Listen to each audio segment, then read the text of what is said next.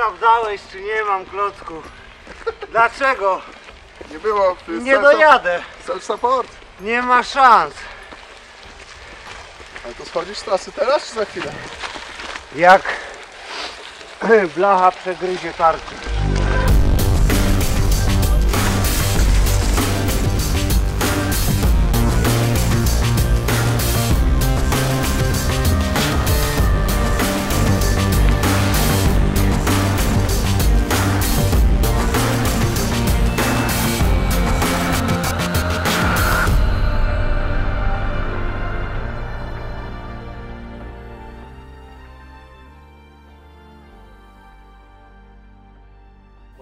Dzisiaj powiedziała, że to, to twój ostatni lajkonik, nie?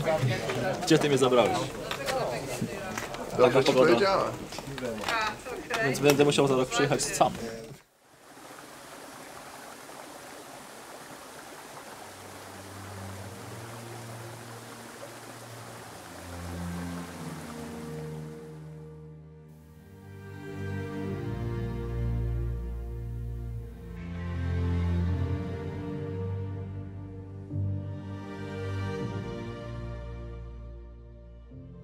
E, Kawka, herbatka cały czas dostępna, mini poczęstunek. O 18.30 mamy odprawę e, na zewnątrz budynku po lewej stronie, przy ognisku, przy zadaszeniu. E, Później jest ognisko. Mm, I co? I z rana zapraszamy też na rozrobienie żetoniku. Mamy jabłko. Tak, tak, tak. No i powodzenia. Dobrze. Naklejkę sobie można wziąć? Tak, jest tam w środku, ale proszę jeszcze brać. Aha, no to dobra, to wezmę sobie. Ja jestem ten, co bym chciał się na krótki przepisać z długiego. Jakby już tam można było kliknąć. Dobra, to wpiszę. Ym, Od 9 do 10 Na co dziewiątą. 5 minut. Na dziewiątą.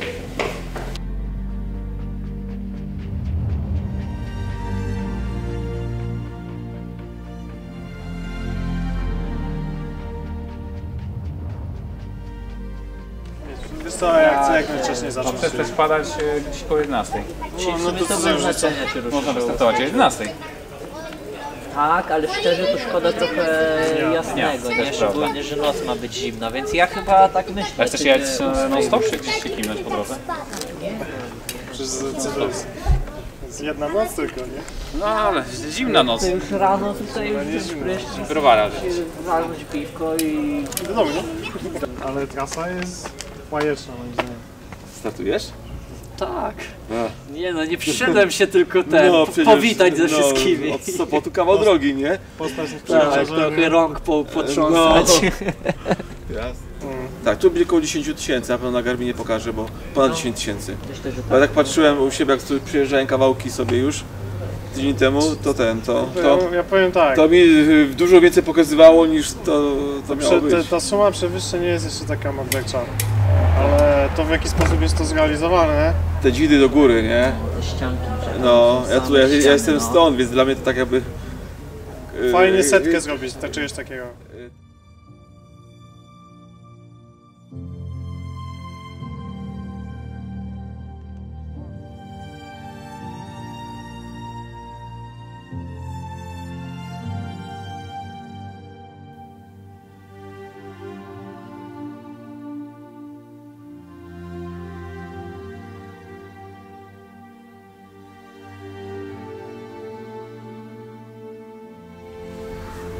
Jak patrzyłem na średnią rok temu, mówię, kurczę, to, to nie ty Ktoś same musi, gravelowanie, być, nie? ktoś musi być w mniej niż 25 godzin na mecie, Bo krótkiego puszczamy o dziewiątej, żeby was pierwszy. przywitali. Chcieliśmy tak, żeby pierwszy z długiego miał szansę się pokazać krótkim. To jest woda. Woda zwykła. Nie wiem. A co? No nie, no że o 8 to wtedy masz jeszcze, wiesz, godzinę wy- y, buforu czasowego, nie? Żeby dojechać na 9 To tylko dla zdjęcia, dla Śre- organizatora, średnia, średnia jazdy autem po tej trasie No. 27. Ła, to nie ma dużej różnicy. A da się jechać tam przez te 27. szutrówki tam? A, numer na leśnictwa. 27. Ja sobie nie zdaję sprawy, nie? 10 tysięcy, kurde, kosmos. Według tego co ja liczę, jak wrzucam w e, system Basecampa, to jest 10800. Co 1000 się 10800 jest przewyższenie. Aha.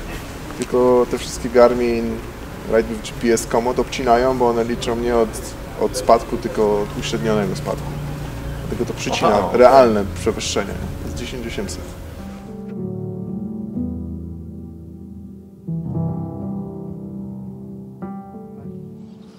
Najważniejsze to mieć fan z tego, co się robi i myślę, że dopóki jedziesz i czujesz, że to jest coś, co chcesz robić i że, że to ci sprawia przyjemność, że to jest dla ciebie takim resetem od rzeczywistości, no to miejsce nie ma znaczenia. Ty nie mówiłeś, że ten, że, że będzie koncert e, góralskiej orkiestry Depres, będzie potem. Trochę coś jeździmy, no. Nie wiem, no. Ostatnio dwa, dwa tygodnie pod szlak mieliśmy po 400, a po poprzednim tygodniu po 200 dziś w tygodniu. Ale no, no widziałeś jak to jest. Ciężko, krzyczę, przeklinam, płaczę, y, więc Przyjechali z północy, dla was to jest i u nas góry to są, wiesz, tam typu Wiem, jak było. 4-5%. No wiem, wiem, wiem jak tam jest, że tam dużo się zjechałem, nie? Tak 15 to zawsze. A tutaj to, ja nie wiem w ogóle na co, ja nie wiem w ogóle na co się pisze. Tak? A, bo ty, ty nie wiesz, co tu jest. Nie, nie wiem. Samochodem tylko. No to nie, no tu był taki, nie jak cię Google prowadziło. Nie no, tu będzie fajnie. Będzie fajnie, nie? No, ja... Druga edycja, jest nas więcej o 10 osób niż w zeszłym roku.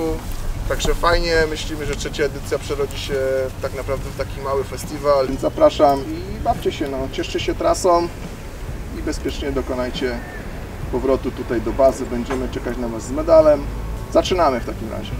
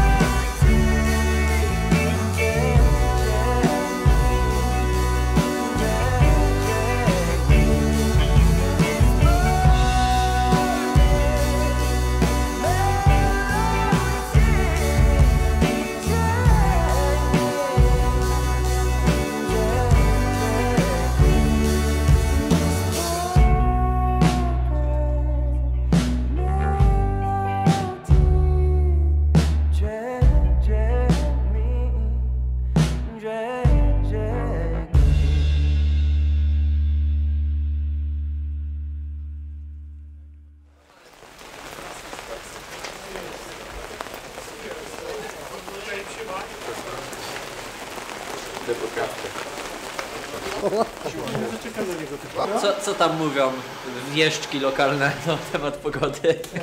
Koło 12 mamy Śnieg, koło 12 ma być śnieg. koło drugiej grad. Który stopień zagrożenia lawinowego jest przewidywany na, na wieczór?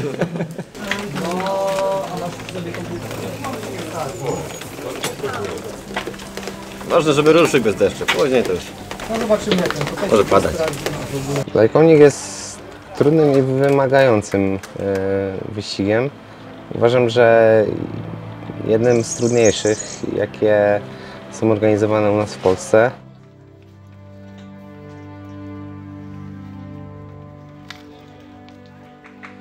Ilość przewyższeń na stosunkowo krótkim dystansie e, no, robi wrażenie.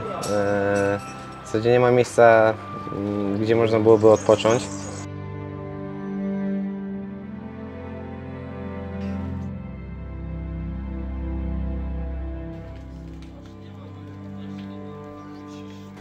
E, Na każdym wyścigu trzeba coś zostawić, e, kawałek siebie i, e, no i powalczyć. Nie ma to znaczenia, czy ktoś dojedzie pierwszy, czy dojedzie piąty, czy dwudziesty, czy ostatni. Każdy zostawia coś na takiej trasie i, no i zostaje to później w głowie. 3, 2, 1, klasa wasza!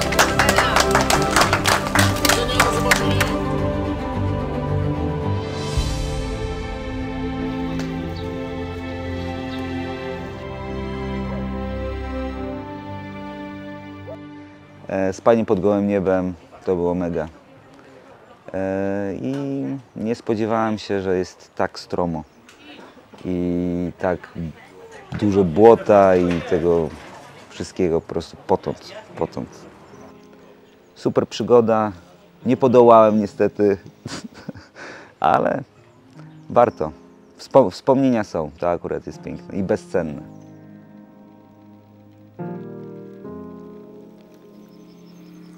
Kiedy wszystko się zgadza, e, bo są takie dni, choć to jest rzadkie, no, no czujesz, e, że no, mógłbyś jeszcze jechać e, dalej niż e, e, moment, kiedy meta się kończy. I to jest e, naprawdę fantastyczne.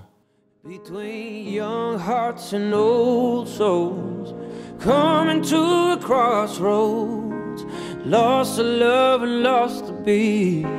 But now it's time to find it once again.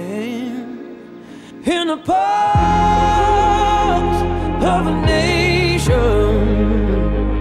it's more than you and me. I know it's hard to breathe in the street. I hear freedom crying. So let's stop the fighting. Start finding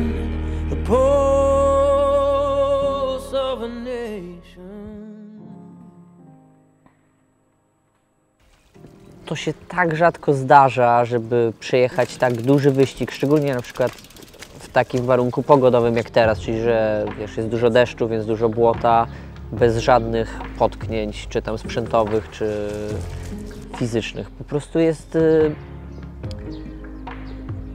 no za dużo tych godzin spędzasz na tym rowerze, żeby coś nie poszło chociaż trochę nie tak. Jakby ja już przestałem się uczyć. Nie ma idealnego ultra, na zasadzie wiesz, prze, przejechanego, idealnie wyegzekwowanego wyścigu. Jasne, że można powiedzieć, że każdy, kto wygrywa, przejechał idealny wyścig, ale no na bank na mecie nawet pierwszy jest w stanie znaleźć dużo rzeczy, które poszło nie tak. No i w ogóle to chyba się wszystko do tego sprowadza, że jesteś w stanie po prostu rozwiązać te problemy. To jest po prostu kreatywne rozwiązywanie problemów przez te tam 20 parę, 30 godzin, czasem dłużej, zależy od wyścigu. Wyścig sam w sobie tak, tak. No, jest zdecydowanie sztuką unikania problemów. Eee, obecnie nie wystarczy jechać szybko. Eee, trzeba też umieć unikać tych problemów i minimalizować ryzyko.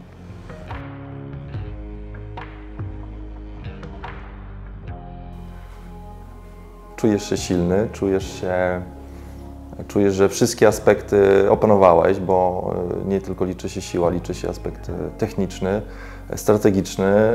ym, I tak naprawdę wyścigi gravelowe wymagają całego waflarza umiejętności, które kolarz powinien posiadać.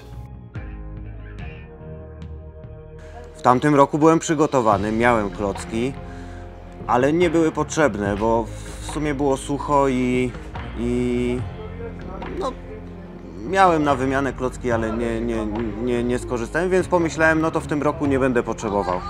No ale niestety popadało, zrobiło, się, zrobiło się trochę deszczowo i, i ten piasek to wszystko sprawiło, że, że te klocki się no, szybko starły. No i gdzieś tak właśnie w okolicach 160 km no, zorientowałem się, że nie mam już okładzin, to znaczy została sama blacha. E, Ale i tak dosyć długo na tym przejechałem, bo właściwie no, 200 km yy, hamując yy, tymi startymi okładzinami. Ale no to już był maks. Po prostu potem się wydarzyło coś takiego, że no, że rozsypały się z- z zacisk, w zaciskach w ogóle yy, nie było już yy, zero okładzin, po prostu nie było hamulcu, hamulców yy, ani przodu, ani tyłu. No i właściwie zostało do mety jakieś 60 km niecałe. No i nie było na czym jechać, no a ciężko było, żeby gdzieś kupić klocki, więc pomyślałem, że, że może gdzieś ktoś rower będzie miał do sprzedania albo, albo gdzieś zdobędę, y, gdzieś popytam. No i pomyślałem, że, że, że może OLX y, gdzieś tam y, popatrzę. No i znalazłem niedaleko właściwie trasy. Był taki rowerek. No i No i sobie sprawiłem. Ta świadomość taka, że no jeszcze do mety bardzo daleko, a wiesz, że to znaczy nie wiesz, ile jeszcze ujedziesz na, na, na, tym, y, na tym, y, co masz, bo to właściwie ni- wcześniej nie miałem takiej sytuacji, no jak, jak, jak, jak się klocki kończyły, to się po prostu wymieniało, a tutaj nie wiedziałem, czy przejadę 215 km, czy, czy, czy do 300 dojadę. Eee, I to jest taki kryzys bardziej, że no wkładasz mnóstwo jednak siły do tego, żeby, żeby, żeby jechać, ale w sumie to nie wiesz, czy to robisz, czy to ma sens, bo, bo za 3 godziny możesz zejść z roweru, bo, bo ci będzie, po prostu będzie bezużyteczny, jak nie będzie hamował, nie? Także udało się. Jestem zadowolony, że, że, że, że, że właśnie, że dojechałem. Mimo, mimo tych awarii. No Dla mnie całą esencją jeżdżenia w ultra jest radzenie sobie z przeciwnościami losu. Właśnie, żeby w sytuacji beznadziejnej znaleźć rozwiązanie i po prostu pojechać dalej.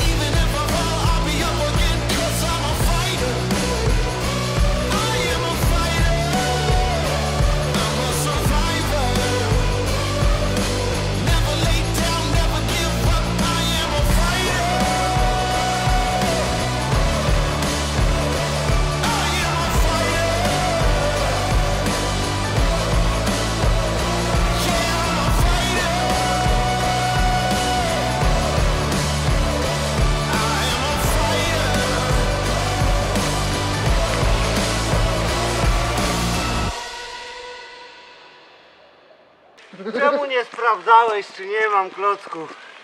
Dlaczego? Nie było. Nie dojadę. Self-support. Nie ma szans. Ale to schodzisz z trasy teraz czy za chwilę? Jak blacha przegryzie tarczę.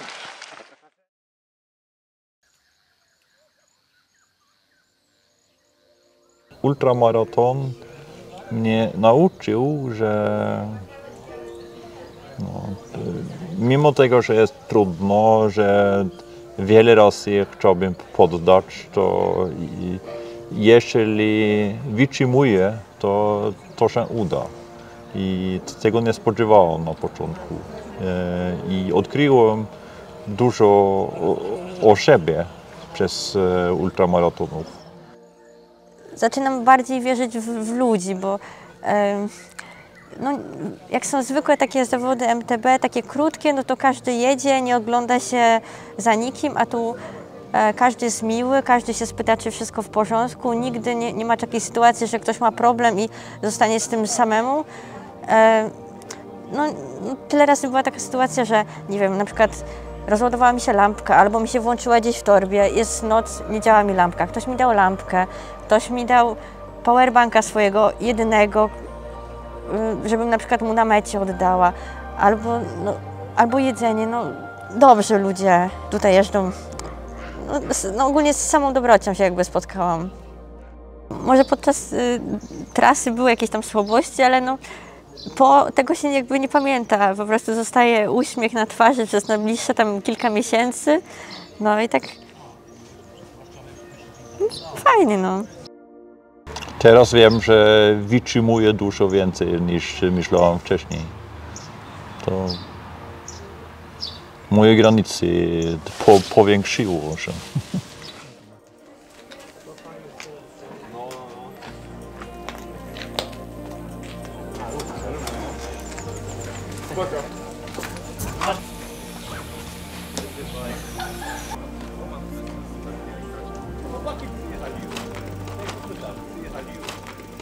Jestem tylko tu i teraz na tej trasie. Walczę z tym podjazdem czy z, z jakimiś przeciwnościami, które w trakcie się pojawiają.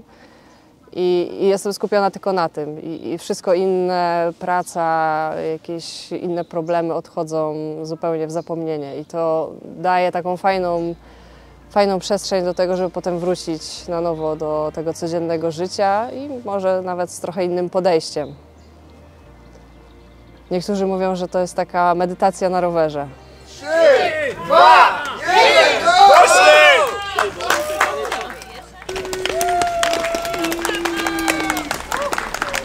Trzymaj kciuki. Pogoda w końcu dopisała, to będzie dobrze, nie? Masz radę.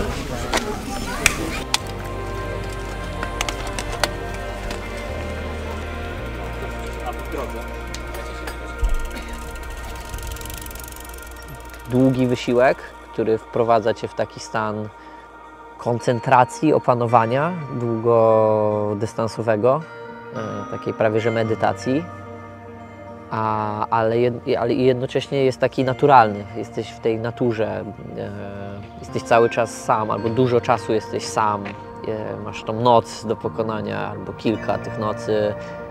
Nie ma żadnych bufetów, jest tylko start i meta, nie? I pomiędzy ta przygoda.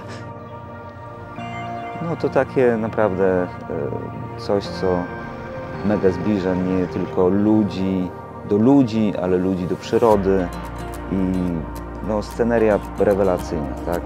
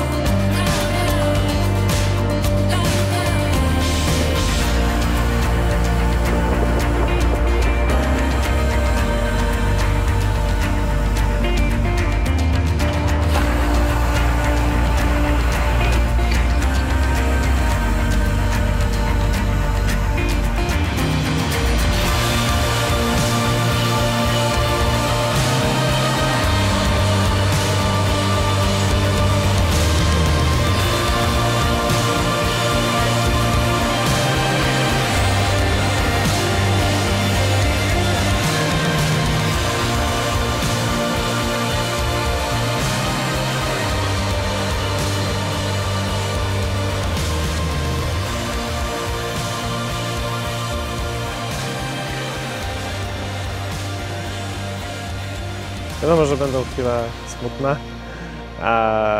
i ciężkie, ale no, jeśli stosunek przyjemności do tych ciężkich chwil e, jest po stronie przyjemności, no to trzeba to robić i jechać, jechać do końca i cieszyć się tą drogą.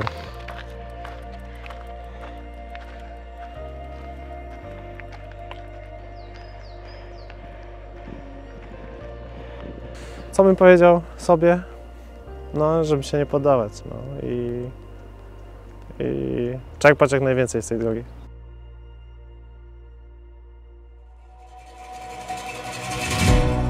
All the bullets that we're dodging, hide the bones in the garden. Got too high off our own fumes. We keep playing with fire.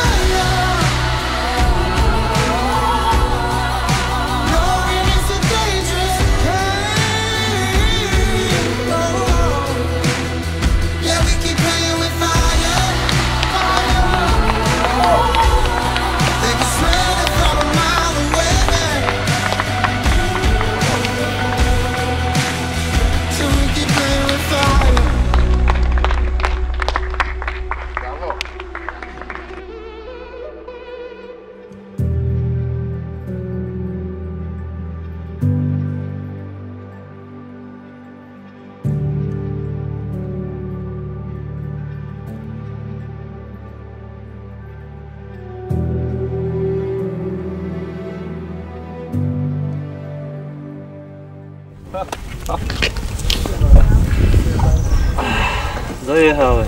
Chile podjazdy. Tak, wiem. Ciężko było. Tak.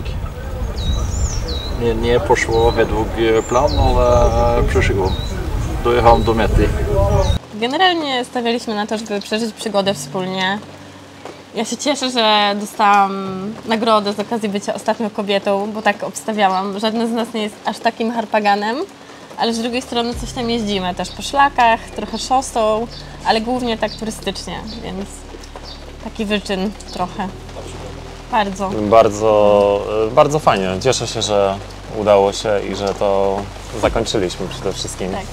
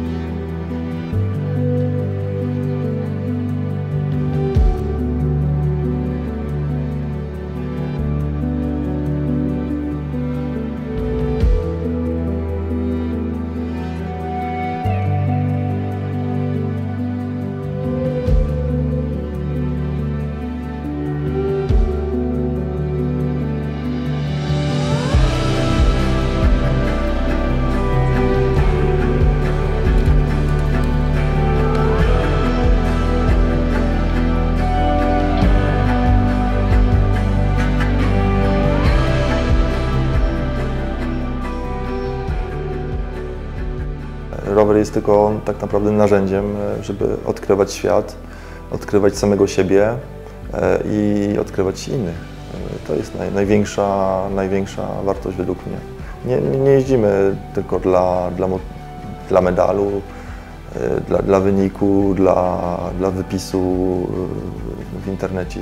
Nie, nie o to chodzi tutaj. Chodzi o to, o emocje, o dzielenie tych emocji i żeby, mm, żeby rozwijać swoją pasję wśród innych. Także nie róbmy granic, rower e, potrafi jednoczyć i, e, i trzeba to zrozumieć i kultywować, mi się wydaje.